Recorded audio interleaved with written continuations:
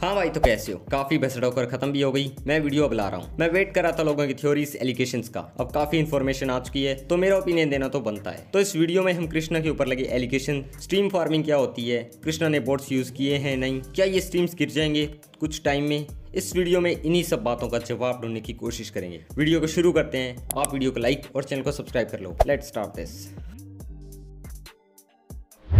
जो लोग नहीं जानते, उन्हें थोड़ी कंट्रोवर्सी एक्सप्लेन कर देता हूँ। तो यूनो कृष्णा की ईपी फार फ्रॉम ओवर 29 अगस्त को रिलीज़ हुई। जब से ये रिलीज़ हुई है, तभी से इसने रिकॉर्ड ब्रेक करने स्टार्ट कर दिए। फ़र्स्ट कृष्णा का स्पॉटिफाई चार्ट रैंकिंग में हाईएस्ट सिक्सटी फ़र्स्ट पोजिशन पर एंट्री मिली प्रार्थना सॉन्ग से।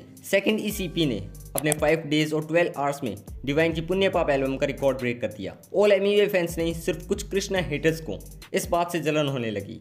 How he broke records lyrical rap को सुनता ही कौन है? उन्होंने एलिगेशन लगाया कि कृष्णा ने अपनी ईपी e के स्ट्रीम्स को बढ़ाने के लिए और डिवाइन के रिकॉर्ड को ब्रेक करने के लिए fake votes fake streams fake playlisting का यूज़ किया है। जो प्लेलिस्ट ये हैं rap mixed by Reshma Gulati with 9000 followers and rap on repeat by Reshma Gulati with 33000 followers और भी दो तीन प्लेलिस्ट थी, जिन पर आठ से दस हज़ार फॉलोवर्स थे।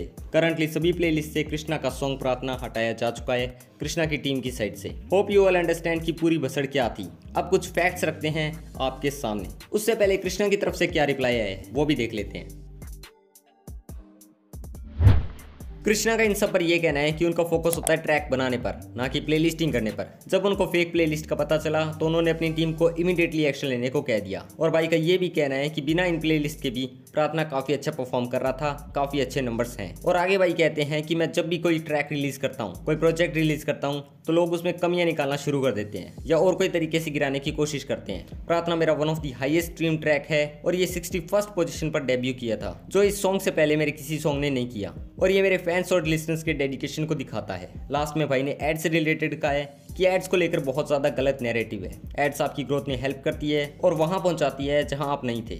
एड्स एक ग्रेट टूल है आर्टिस्ट की ग्रोथ और एक ब्रेकिंग आर्टिस्ट के लिए। अगर मेरी डिस्ट्रीब्यूशन टीम मेरे ट्रैक का स्पॉटिफाई पर कैंपेन चलाती है प्रमोट करती है तो मैं उनके साथ हूँ। They help me to grow and reach numbers I hope मैंने सही एक्सप्लेन किया है। कोई गलती है तो sorry let's go next point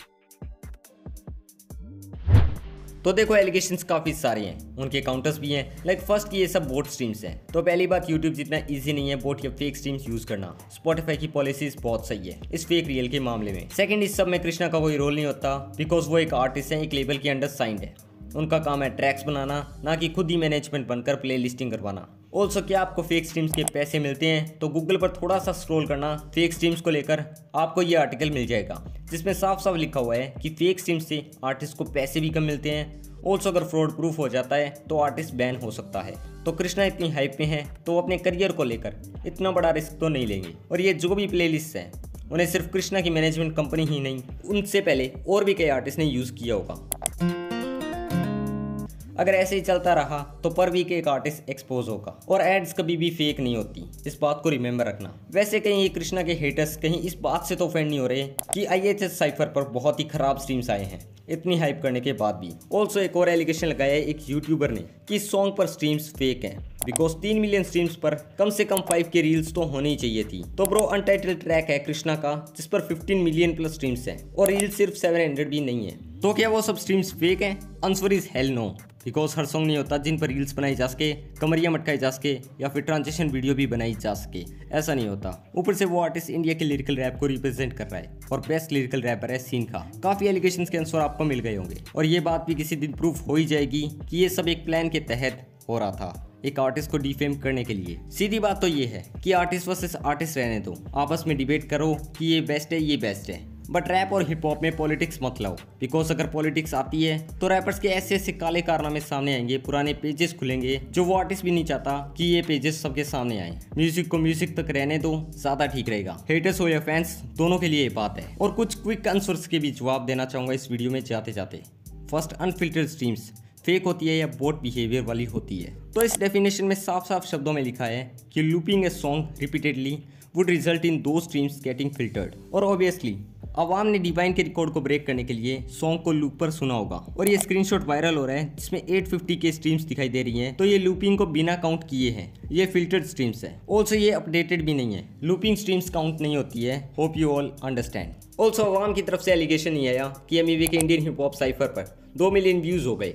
और स्ट्रीम्स अभी ट्वेंटी के ही हैं बिकॉज़ दे रिस्पेक्ट आर्टिस्ट और इन एलिगेशन से एम का ही नाम खराब हो रहा है, कि ये बंदे एलिगेशन लगाने आ गए। अभी इन्हें म्यूज़िक का स्पॉटिफाई कैसे वर्क करता है, इसका बेसिक नॉलेज भी नहीं है। फिर एम इनके लिए अप्रिशिएशन स्टोरी पोस्ट करते हैं। सच पता लगने के बाद इसे कुछ टाइम में रिमूव भी कर देते हैं। मतलब ऐसे दोस्तों से फैंस से तो दुश्मन भले। ऑल्सो जो भी ये फेक स्ट्रीम्स का कह रहा है तो फिर से बता दूँ, इसमें बहुत ज़्यादा हाई लेवल का रिस्क है। बिकॉज़ ऐसा कोई सिस्टम लॉन्च ही नहीं किया स्पॉटिफाई ने, कि इतना कैश तो इतने स्ट्रीम्स मिल जाएँगे।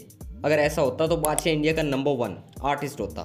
If you know you know आ गए होंगे एम के फैंस नहीं कृष्णा के हेटर्स मुझे गाली देने। तो ब्रो सिर्फ़ कुछ लोगों के कहने से सच झूठ नहीं बनेगा। अगर फेक स्ट्रीम्स हैं या लूपिंग प्लेलिस्ट से रीच मिलती है इंडिया लेवल पर इतनी हाइप बनती है रिकॉर्ड्स ब्रेक होते हैं तो कृष्णा के फैंस तो सिर्फ़ वन मिलियन है। आप लोग तो ट्वेंटी मिलियन हो तो क्यों सिर्फ़ two point nine million listeners हैं? फेक एलिगेशन लगाने की जगह इंडियन हिप हॉप साइफर को स्ट्रीम करो एम भाई भी यही कहते होंगे। किसी की भी साइड लेना नहीं चाहता था बट सिर्फ़ कुछ कृष्णा हेटर्स जिनका काम है सिर्फ़ टॉक्सिसिटी फैलाना, उन्हें रिप्लाई देना ज़रूरी था। हिप हॉप एंड टॉक्सिसिटी मत फैलाओ ट्रैक्स इंजॉय करो कंटेंट इंजॉय करो, खुश रहो, अपना ध्यान रखो पीस आउट